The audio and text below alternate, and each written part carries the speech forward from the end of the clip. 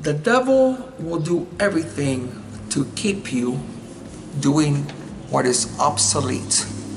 What do I mean by the word obsolete? That's where the word archaic, which I'm going to talk to you about today, comes from. It means out of date, something that no longer works, old fashioned, outmoded.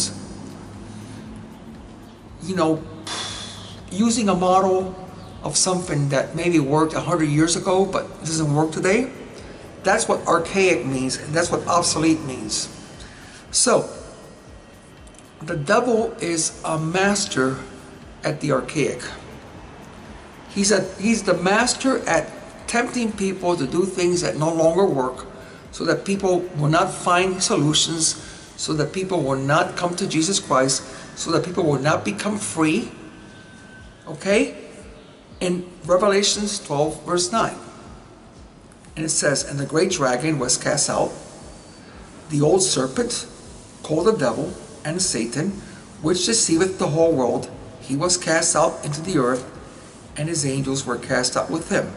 The word for old serpent is the word the archaic serpent, the obsolete serpent. Revelations 20, verse 2.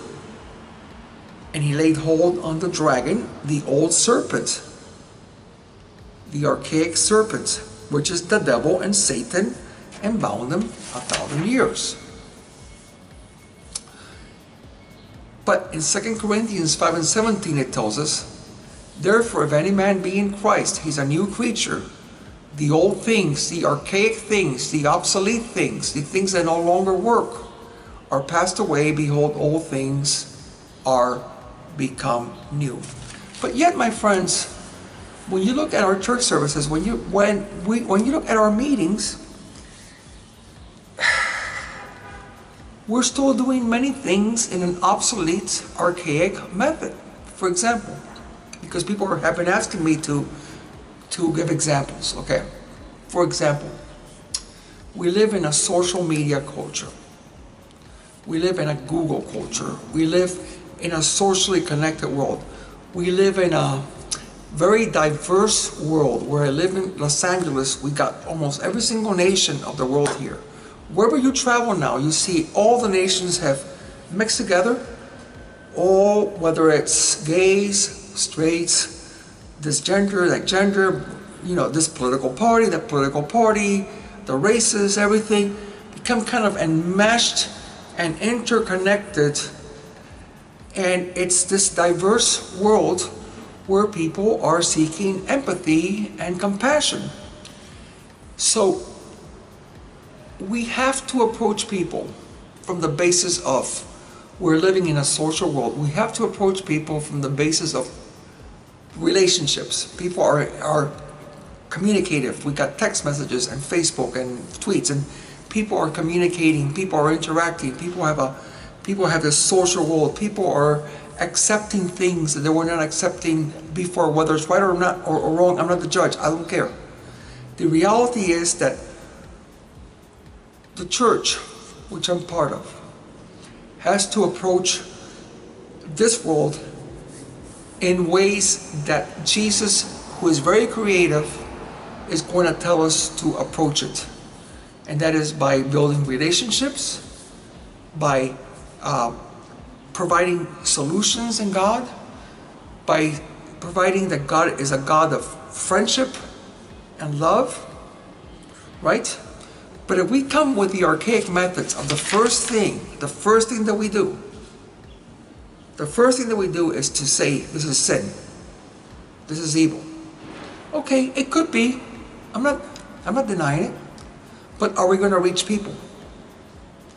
Or are people going to see the approach of us in the church as, okay, the first thing that we do before we even become social, before we even have a relationship built, before we even love people, is to say, you know, God's angry with this and this is sin and blah, blah, blah. Whether it's sin or not, the fact is, are these archaic and obsolete methods going to work in this world? Or do we approach people in this world through the eyes of friendship and love, and that God loves people, and that God wants to heal people, and that God wants to set people free. Again, the devil is the master of archaic methods. You understand? If he can tempt Christ- Christians with archaic methods that are outdated, things that maybe worked 100 years ago, but are not working in this socially connected world, then instead of going to the people that God has asked us to reach, we're actually scaring them away. And we're actually building, instead of a bridge, we're building a wall. What good does it do? So remember that the devil is the archaic devil. Whether you're having a meeting, whether you're having a church, whether you're trying to reach people, really spend time with the Lord and say, Am I using God's approach to reach the world, or am I stuck in this archaic, obsolete, non-working methods that maybe work, maybe worked in the world 200 years ago, but that are no longer working? We must change our approach. We must change the way that we reach people for the Lord. If not, people are going to see a lot of the church as this obsolete, archaic church that is very just, we're going to worship God and we're going to talk about what is wrong with the world and we're never going to reach it.